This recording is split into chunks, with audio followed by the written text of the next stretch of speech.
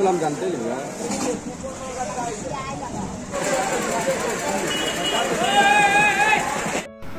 तो दोस्तों, आज हम आए हुए हैं पटना के बाज़ार समिति और बाज़ार समिति को नया रूप मिलने वाला है। और ये देख रहे हैं आप, कंस्ट्रक्शन चल रहा है। पहले का बाज़ार समिति और अभी में बहुत अंतर हो चुका है। तो काफ़ी कंस्ट्रक्शन चल रहा है। ये देखिए, कोल्ड स्टोरेज है, आलू प्याज का। यहाँ आलू प्याज को स्टोरेज करके रखा जाता है काफ़ी लंबे समय तक। तो आप वीडियो में जान ही रहे होंगे, हम आप जा रहे हैं बाज़ार समिति का मछली मार्केट ये देखिए, मछली मार्केट हम लोग पहुँच चुके हैं। काफ़ी दिनों से हम आया करते हैं, लगभग बचपन से हम लोग यहाँ घूमने आया करते हैं। तो आप देख रहे हैं, ये ज़िंदा रेहू बिक रहा है। और कोई अगर लेना चाहते हैं तो यहाँ से भी ले सकते हैं और थोक व्यापारी भी यहाँ से ले जा ले जाते हैं बेचने के लिए रिटेल में। पूरे पटना में यहीं से मछली जाता है। ये देखिए, थोक व्यापारी ले जा रहे हैं रेहू। ज़िंदा रेहू है। तो रेट भी आपको काफ़ी अच्छा मिल जाएगा। ये देखिए 10-15 केजी का कतला मछली है। जो मछली खाते होंगे, वो जानते होंगे। ये देखिए, झींगा है।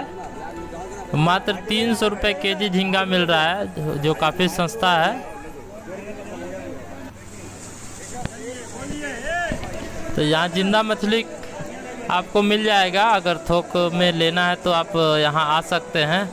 और जो भी लोग यहाँ आए हुए हैं, कमेंट में ज़रूर बताएँ।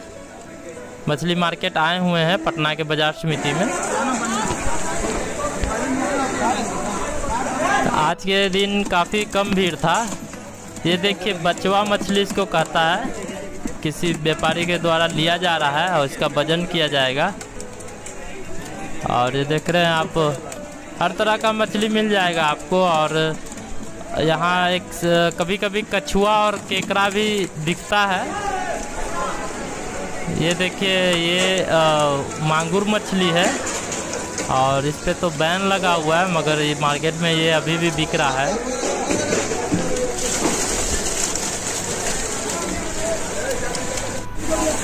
मांसाहारी मछली में आता है ये।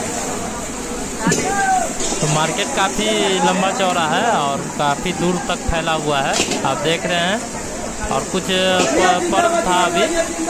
अनंत पूजा, उसके कारण ये मार्केट में ज़्यादा भीड़ नहीं है और मछली भी कम आया हुआ था। तो आप देख रहे हैं मछली मार्केट। एक समय में यहाँ समुद्री मछली भी आया करता था। लेकिन अब बैन हो चुका है ये सब बेचना, मना हो चुका है।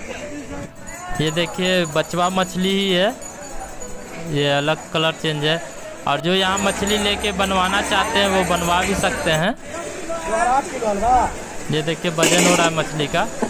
तो लोकल के जो भी यहाँ है तो यहाँ से मछली लेके यहीं उसको कटवा के फिर उसके बाद घर ले जाते हैं। सारी व्यवस्था यहाँ है।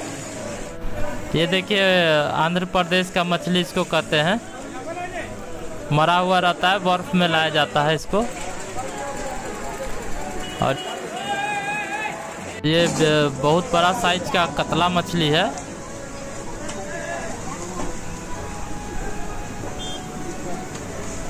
लगभग 10 केजी का ये मछली था। और रेट भी बार्गेनिंग हो जाता है यहाँ। यहाँ लगभग सुबह चार बजे से व्यापारी लोग आने लगते हैं मछली लेने के लिए। मॉर्निंग में ही लोग आया करते हैं। देखिए, वज़न हो रहा है। ये सब व्यापारी का मछली है। यहाँ भी देखिए, वज़न हो रहा है और जो भी आसपास के होंगे तो ज़रूर यहाँ घूमने आए। ये वीडियो कैसा लगा आपको कमेंट में ज़रूर बताएँ। और फिर मिलेंगे नेक्स्ट वीडियो में। तब तक बाय बाय टेक केयर।